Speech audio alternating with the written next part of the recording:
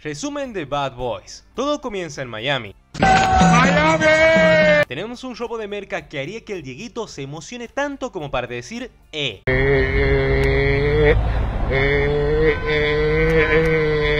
Y quienes deben descubrir qué carajos pasó son Marcus y Mike, porque ellos son los policías antinarcóticos. En eso que andaban buscando pistas, Mike le dice a esta chica, que se llama Max, si le puede hacer la gauchada para averiguarle quiénes andan en la movida de la merca y esta acepta. Más tarde, esta averigua que un ex policía llamado Eddie ayudó a robar la merca, pero como ella fue con su amiga la Julie, anda a saber por qué, esta se termina salvando muy de pedo porque justo justo estaba en el baño cuando llegaron los malos. Por lo tanto, ahora es la única testigo de cómo le dispararon a su amiga Max. Así que esta corre, se tira y se salva de pedo.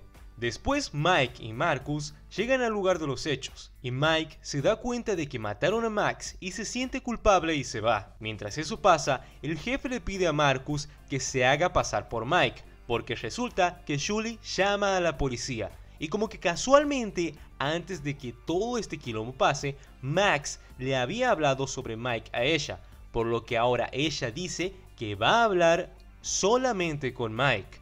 Marcus, quien ahora es Mike, la busca, pero al toque llegan los malos y de nuevo zafan de pedo.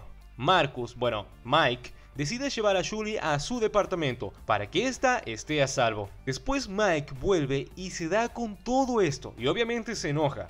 Pero ahora que invirtieron los papeles, él debe estar con la familia de Marcus y vivir ahí. Mientras tanto, el líder de la merca consigue a gente para hacer más y poder seguir distribuyendo. Cosa va, cosa viene, buscan más pistas y resulta que no pueden dar con el expediente de quien ayudó con la movida de la merca desde el interior de la policía. Esta secretaria se supone que puede hacerlo, pero no puede.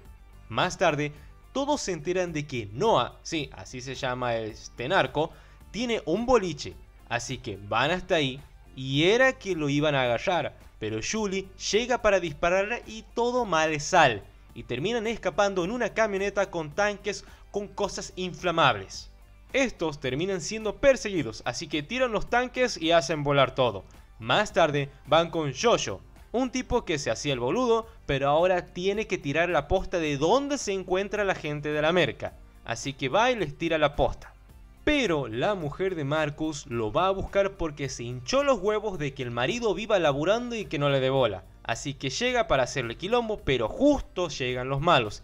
Y justo la tienen de frente a Julien. Esta vez, en vez de deshacerse de ella, la terminan secuestrando, lo cual le da más tiempo a los muchachos de averiguar, así que van y llaman a este tipo que es un hacker o algo así. El tipo termina descubriendo toda la información necesaria y de paso se nos revela que la secretaria esta se estaba haciendo la boluda, dado que ella es o era la pareja de uno de la merca. Ahora, con la tecnología que no tengo idea de cómo funciona, terminan localizando el teléfono de un narco, así que solo con llamarlo ya saben en dónde están. Así que lleguen hasta un coso tipo aeropuerto abandonado donde está Noah, el malo que lidera todo. Estaba negociando justo con otro tipo de la merca, pero llegan los muchachos para salvar a Julie. Pero antes, vamos a ver golpes, disparos, piñas y todo eso que venimos a ver. ¡Queremos sangre!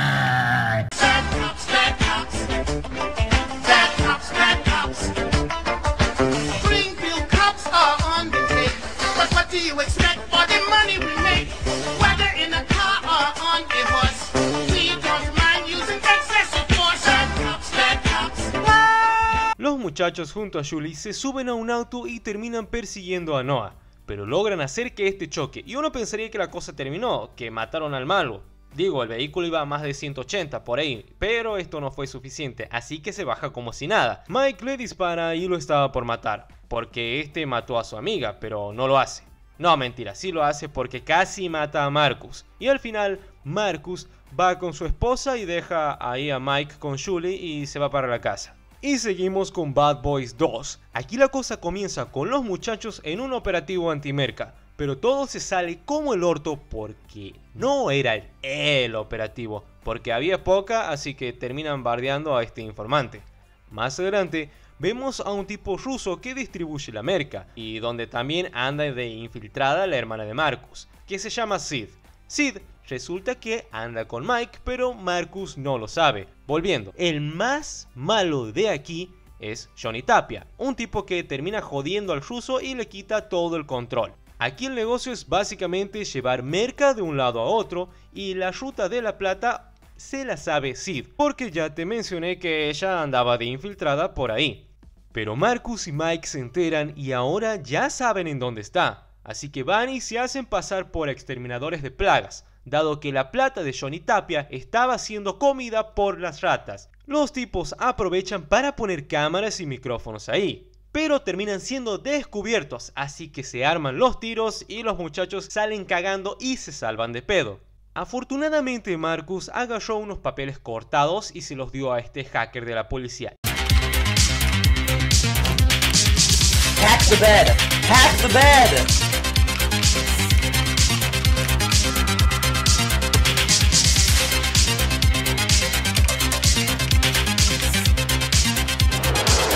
Cagate de risa. Porque con esos papeles cortados, sí, sí, sí, con esos papeles cortados terminan descubriendo que los papeles estos son de un barco que ya habían visto de una misión que habían hecho al principio de la película. Es así como van con este tipo con quien se tirotearon en el primer operativo. Este les dice dónde está el bote y se mandan. Pero una vez más todo sale como el orto. Pero como ahora saben que el negocio de Tapia se basa en transportar merca y plata en ataúdes, encima ya cuentan con la evidencia de ello, se la van y se la muestran al jefe. Y ahora sí, se ponen todas las pilas porque ya saben en dónde está Tapia. Pero van haciendo mierda todo.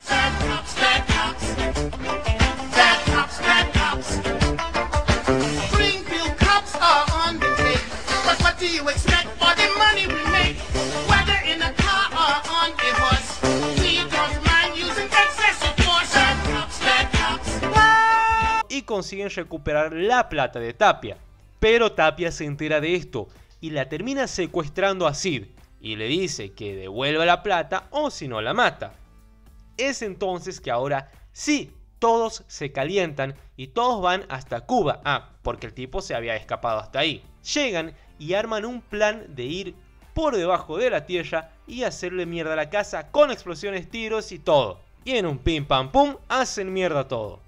La cosa termina con una persecución hasta que llegan a una base de Norteamérica en Cuba, donde convenientemente estaba toda minada. Así que Marcus, ya muy caliente, le pega un tiro a Tapia y lo mata. Y de paso explota, salvando así la vida de su compañero. Y la peli termina con los muchachos tranquilos en la pile, eh, que se hace pelota y bueno, con Marcus hablando huevas con Mike, que ahora ya uno es cuñado del otro y fin. Este fue el resumen de Bad Boys 1 y 2. Suscríbete y apreta la campanita, compartirlo, dale like y hace todo lo que vos quieras. Esto es todo por ahora, bye.